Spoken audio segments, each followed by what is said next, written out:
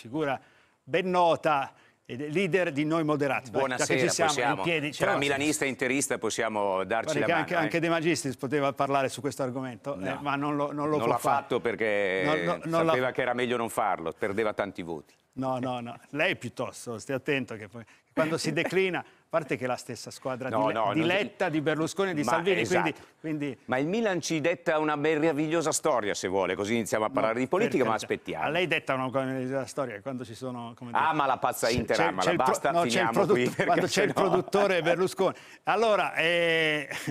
se vuole possiamo iniziare da qui, vada. Senta, allora, eh, voi siete considerati la quarta gamba, eh, la quarta ruota della, della, eh, della Formula 1 eccetera. Scelga lei, cioè comunque siete insieme a Fratelli d'Italia, insieme alla Lega, insieme a Forza Italia, una delle componenti della coalizione centrodestra. Gliel'ho detta bene così. Eh, oh, guardi, eh, aspettavo finalmente qualcuno che la dicesse in questo modo. Senta, e, e però eh, qualcuno dice, vabbè, sono la quarta scelta. Invece chi sa della, di cose politiche sa che eh, probabilmente ci vuole quel qualcosina in più per arrivare a una soglia che è importante sugli uninominali non soltanto.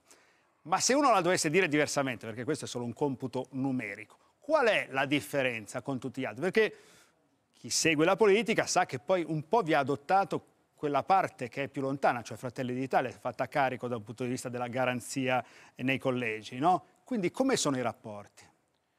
Credo che la domanda non solo sia pertinente, ma è quella che mi hanno fatto in tutta questa eh, campagna elettorale. Perché c'era bisogno di un'altra proposta nel centrodestra?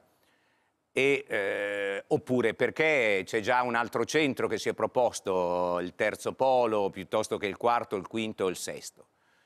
Io credo che nella coalizione di centrodestra che si appresta a governare l'Italia, e ne sono eh, convinto, ci sia e ci fosse bisogno di eh, persone che anziché continuare a eh, rincorrere a dire che la proposta politica del centrodestra si è spostata a destra e prima era Salvini e poi la Meloni e allora dobbiamo ecco, continuare a stare al balcone a fare i, i sani commentatori hanno deciso che eh, per governare e per governare con la nostra storia politica, che è quella del centrodestra, bisognasse eh, ritornare a rimettersi in gioco portando i valori in cui noi crediamo. Io ho iniziato a fare politica nel centrodestra. Credo che eh, la persona sia al centro e che lo Stato debba servire il cittadino. Credo che le libertà siano fondamentali. Ho una visione dove diritti e doveri si mettono insieme. Credo che sussidiarietà e solidarietà vadano di pari passo, ma che ci sia nel governare bisogno di un metodo, che è quello della competenza, quello della serietà, quello dell'affidabilità quello della concretezza.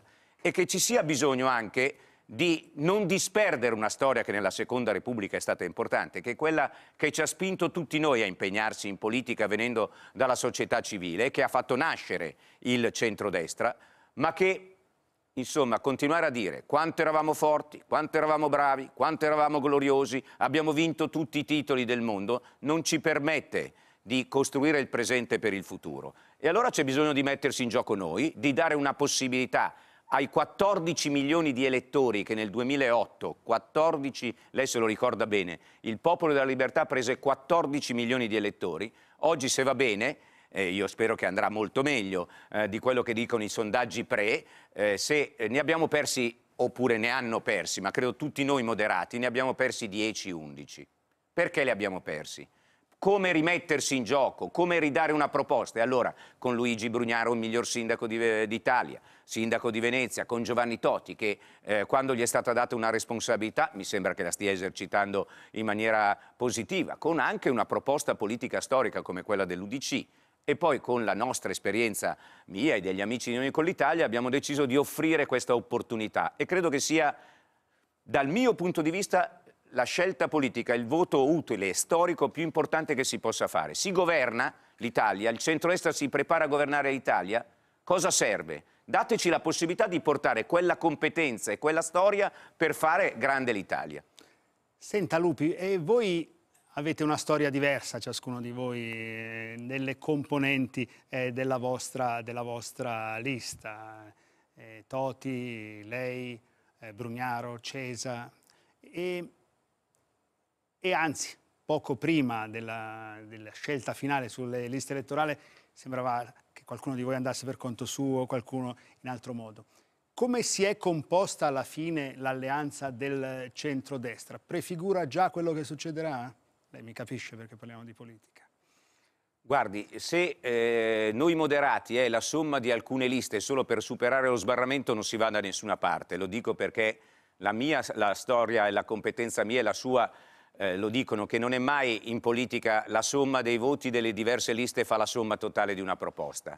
Noi abbiamo deciso di, per la prima volta di rimetterci insieme e anziché di dividerci, di smettere di considerarci pur piccoli sempre i più grandi dei piccoli e eh, di eh, trovare, eh, di dare questa possibilità a chi vuole è del centrodestra e a chi vuole votare e darci la forza per andare al governo di eh, offrire questa possibilità di sceglierci, di dare forza a noi moderati, portando esattamente quell'idea di fondo che eh, deve accomunare in politica. Eh, nel programma di centrodestra abbiamo posto una serie di questioni. Per noi, per esempio, il pilastro fondamentale su cui costruire non è solo dare risposte immediate, ne parleremo, al gas, all'energia, a questa crisi drammatica. Ma come si ricostruisce un paese il, nei prossimi cinque anni? Ci stiamo candidando a costruire l'Italia del 2027. Il primo pilastro si chiama scuola, si chiama educazione, si chiama formazione. Eh, è mai possibile? Lei, se, se, io e lei pensiamo alla nostra giovinezza, credo che la figura che più ci ricordiamo è quella della maestra. Io mi ricordo la mia maestra.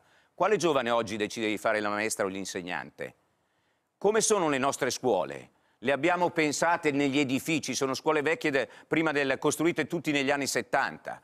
La, gli, gli, insegnanti prendono la metà dello stipendio degli insegnanti tedeschi, non è un problema di rivendicazione sindacale. Quale autonomia diamo alla scuola? Come le famiglie, secondo punto fondamentale, possono pensare ad avere un figlio? Sembra quasi che sia una tassa aggiuntiva. Se è aperta la scuola, noi possiamo eh, spendere 1.300-1.450 euro tra libri, zaini, eccetera. Quanto il fisco ti permette di detrarre, di detrarre delle, delle spese scolastiche che ogni famiglia fa? 800 euro. 800 euro. E allora prima di pensare al resto, vogliamo mettere nelle condizioni e dire che la famiglia e la scuola sono l'elemento più importante? E allora è banale. Possiamo detrarre tutte le spese che una famiglia fa per l'istruzione dei propri figli, anziché spendere 300 milioni di euro per i monopattini? Io credo che questo sia un elemento di novità che noi portiamo. La natalità interessa a qualcuno o non interessa a nessuno? eh, il tema del... Adesso ha visto che stanno tutti rincorrendo il reddito di cittadinanza, siccome anche nel centrodestra, no? Siccome... Eh, capito che può piacere. Eh? Sì, sì, no, siccome Conte pare che stia riprendendo... Conte ha governato tre anni, no? Ma pare che stia riprendendo allora il reddito, il reddito di cittadinanza. Bisogna avere il coraggio di dire che è sbagliato, ma è sbagliato nella sua concezione culturale. Non è che prendi un, un politico, non è che pur di prendere un voto dice quello in cui crede. Perché è sbagliato? Non ha sconfitto la povertà, non ha dato un lavoro, ma introduce un elemento distorto nell'idea di lavoro, la dignità e il lavoro, non l'elemosina assistenza. Io ho girato in lungo e largo per l'Italia, al nord come al sud, basta con questo luogo comune in cui al sud vogliono il reddito di cittadinanza e al nord invece vogliono il lavoro. Al nord come al sud vogliono la dignità di un lavoro e uno stipendio giusto. Ma se noi insidiamo nella società l'idea che il lavoro te lo dà chi è potente, sei sempre legato al potente di turno, ti tiene sempre lì, Ecco, avere il coraggio di dire che è sbagliato e che bisogna cambiarlo, modificarlo, fatelo come volete, ma così non funziona. Buttiamo via 8 miliardi e mezzo di euro l'anno. Mi scusi, 8 miliardi e mezzo di euro l'anno. E allora forse servono dei moderati anche nella coalizione del centrodestra? Credo di sì, che abbiano il coraggio di dire questo e anche di mettere la competenza a disposizione. E perché lo dicono i moderati e non tutta la coalizione all'unisono? Perché l'idea nostra che... Eh, ed è forse quello che ci ha fatto perdere un po' di forza nella coalizione di centrodestra per tanti anni, è che non si rincorre solo l'opinione e il sondaggio. Non bisogna sottovalutare la rabbia e noi l'abbiamo sottovalutata negli ultimi dieci anni. Se tu non ti accorgi che c'è un disagio sociale, vuol dire che non hai capito. Quando tu vai dal medico e gli dici ho mal di pancia, se tu dici ma no, lascia perdere, eh, c'è qualcosa che non va. Ma il medico ha un compito come la politica, ha il compito di darti di dirti guarda, cambia stile di vita, guarda, prendi questa medicina. E la politica è, potrei citarle Sant'Agostino ma eviterei, la speranza ha due figlie, la rabbia è legittima se, ti, se, se vivi in una condizione di disagio, ma il coraggio, il coraggio eh, di, di mettere, rimboccarsi le maniche e di indicarti una strada per il futuro. Questo è quello che noi dobbiamo. Quindi bisogna dire che il lavoro lo danno le imprese. È, è, è inutile, quindi sosteniamo le imprese. Quindi il problema che ha avuto anche il centrodestra è di accarezzare il pelo invece di, di, di indicare la strada, no? Ma certo, il problema del...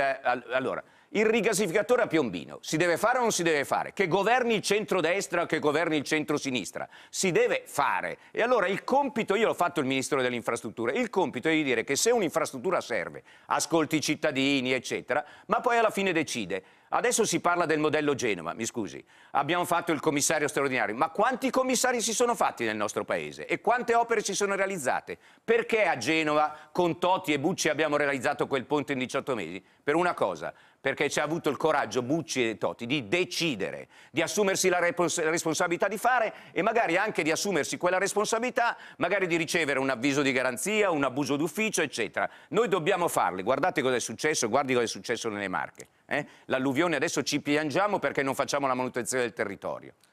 E quindi lei dice, ad esempio sul PNRR, voi moderati dite che bisogna ridare un'occhiata, rimettere le box o no? Beh, sarebbe assolutamente una stupidata rimetterlo ai box, mi scusi. Abbiamo una grande opportunità di utilizzare questi, queste risorse. Le abbiamo votato con convinzione, i pilastri devono rimanere, ma la sfida del PNRR la sappiamo tutti. E, e chi ha governato sa qual è la sfida. Passare dalla parola, da quei soldi che sono messi lì, ai fatti, alla realizzazione delle cose. Poi, l'ha detto anche Gentiloni, non è che se devi fare una correzione, un bando non funziona, i capitoli sono quelli, eh, transizione ecologica, ci sono già nel, nel, PNR, ci sono i soldi per finanziare, se devi fare un aggiustamento lo fai, ma stravolgerlo o cambiarlo mi sembra una, una cosa incredibile. La cosa più importante è la sfida del fare e del realizzarlo. Io fa, volevo, lei lo sa molto meglio di me, le voglio fare questo esempio per capire sempre qual è la proposta politica che fanno noi moderati. Il valico dei Giovi, ho fatto il ministro delle infrastrutture, alla fine dell'Ottocento si è realizzato in otto anni. Nella stessa regione il terzo valico lo stiamo aspettando da 30 anni. Allora, questa mi sembra che sia la sfida che ha questo Paese, fare le cose e le cose che sono importanti, infrastrutture materiali e immateriali. Siamo verso la conclusione. No, di già. Era così eh, so, bello. Lei, sì, lo so, vorrebbe ma poi alla fine... Poi questa non è l'ultima parola, per noi è la prima, vorremmo che andasse avanti. No, non è la prima, non, non faccia così. Allora, eh, tutti provano a dire, ma mi avete dato no, no, tempo. No, io no, guardi, il, va bene anche le briciole per pur di parlare e di dire sì, la passione che abbiamo. L'ho vista Vai. caricata. Senta, eh, voglio chiederle una cosa. Per voi, parte della coalizione di centrodestra, la prospettiva è una sola, un governo del centrodestra? L'unica prospettiva è il governo di centrodestra e lo dico anche per l'esperienza che ho, perché sento parlare di ingovernabilità. Date il nostro voto perché così c'è l'ingovernabilità, eh, ogni riferimento al terzo polo è puramente casuale, eh, e così non governa nessuno e quindi può governare un terzo. Eh, I governi di unità nazionale sono un'anomalia, sono un'eccezione, vuol dire che la politica non è stata capace di chiedere agli italiani di darci la maggioranza. È un'amministrazione straordinaria. Esatto, no? io voglio che ci diano la, la, maggioranza assoluta, voglio che vada a governare il centrodestra e vi garantisco che il voto più utile nella maggioranza del centrodestra non è sprecato, è quale? No, lo immagino, no, io non lo no, faccio no, dire. No, lo ridiamo, no, noi moderati. Lo, lo ridiamo. Non, e lo ridiciamo, ah, ecco, scusi, no, perché la passione, ridiamo, ridiamo, ridiamo potrebbe, lei, potrebbe far pensare ad altri. Sempre la matita rossa, eh? no, ma ridiamo, a proposito della maestra. Era divertente. Poi ci vogliono maestre più giovani di me, però... Beh, anche di me. assolutamente. E, senta, e quindi, mi scusi, se come sembra Giorgia Meloni e, e Fratelli d'Italia saranno la lista con maggiori numeri, sarà Giorgia Meloni a guidare ma mi sembra... Lei sa benissimo, scusi Lupi, che non è una domanda innocente, sa benissimo che c'è il lavorio, se, ma... Ma io non vedo nessun lavorio, credo che da 30 anni il centro-est si sia dato una regola, che poi è la regola della democrazia. La il centro-est non è un partito unico, è una coalizione.